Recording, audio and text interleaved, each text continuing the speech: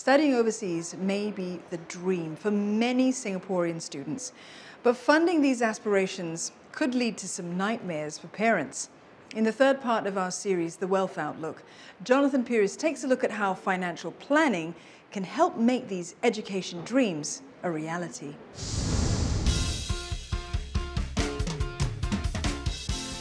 An opportunity to study at some of the best universities in the world. A change of scenery and a sense of freedom living on your own.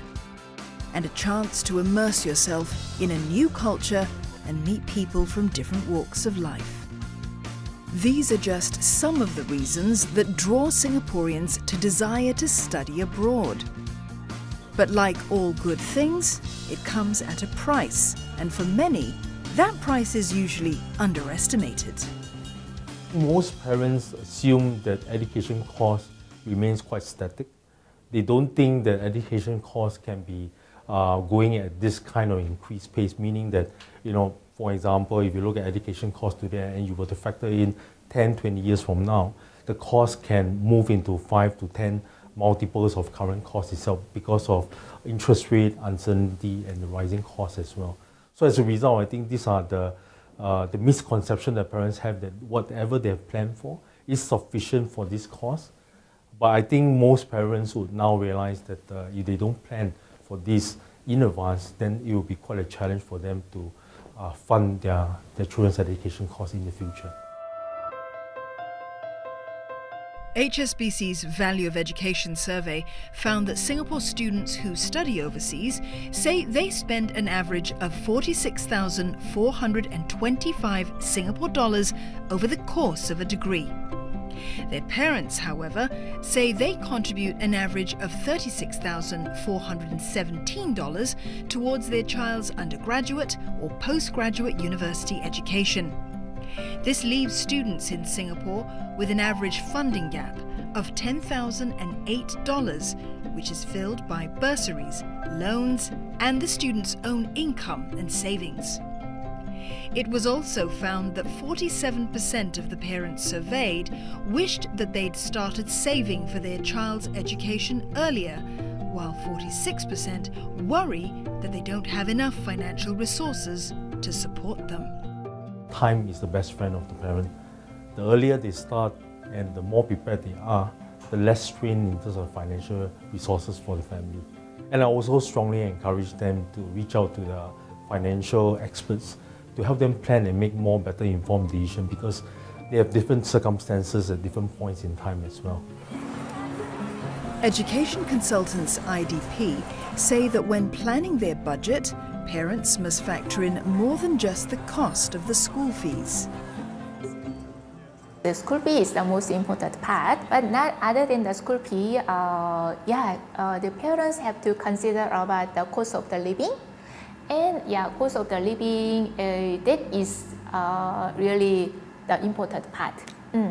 Because uh, yeah, per the week, that like accommodation, yeah, they have to pay and also the Australia, if they are considered for the rental of the car, even buying the second-hand car, but uh, still, yeah, it, it requires the, the money. While taking on a student loan or investing in insurance endowments remain the more popular options for many parents, some experts say it may not be enough. I'm not too keen about using insurance endowment because the returns are a bit too low.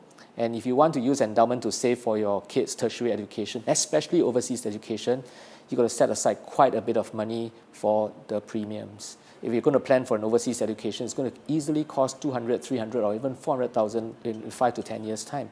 And uh, investment is probably the option that can give you the return that you need to reach that amount. As long as you understand what investment is all about and you have the risk appetite, investment will be a good option. In fact, Mr. Tan recommends that parents start early in their financial planning, even if their children are studying locally, as this too can be quite costly for most Singaporeans. My son is in university right now, and uh, just to study in a local uni, non-medicine, uh, school fees is anything between 10,000 to 12,000 a year. So if it's a four years program, then it's going to cost like 40 to 50,000 just for tuition fee alone. And then we are not uh, including the uh, daily expenses yet. uh, most undergraduate will probably spend like 600 to 700 dollars a month to cover everything. That works out to be another probably like 40,000 a year in living expenses. So if you add up, you know, um, local education four years non-medicine can cost anything between 70 to 90,000 dollars. That is not including the cost if they stay in the halls. That's not including the exchange programs that all these uh, undergraduates they go for. But despite the high costs, IDP says the number of students venturing abroad has been steadily increasing over the last few years. Every year, around 3,000 new students from Singapore to uh, Australia and to K. It is around 2,800 and 3,000 per each destination. So those uh, UK, uh, Australia and UK, uh, those two uh, countries are the most popular and the highest uh, number of the, uh, the students, are the destination.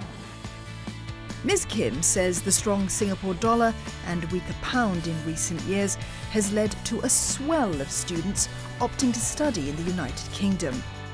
It's now almost on par with Australia as the go-to destination for Singapore students.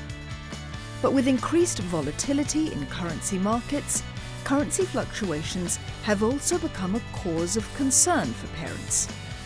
HSBC offers a solution with their quick FX app. This app is very good for helping them manage their foreign currency exposure. They know that they are going to travel to Australia, for example, in the next one month and they will feel that uh, the Australia price is going to come off in terms of the rate, uh, they could actually put in the price in the app and wait for the rate to be reached and they can execute uh, the trade automatically in the system such that when they are there in Australia, the money has already been executed for them. And for parents who actually who are not into the market and very busy, I think what they can do is actually they can actually leverage on one of our services, the FX Order Watch, where they can actually uh, put in a limit order and they can wait for the price to reach the watch rate and the execution can be automatically converted for them.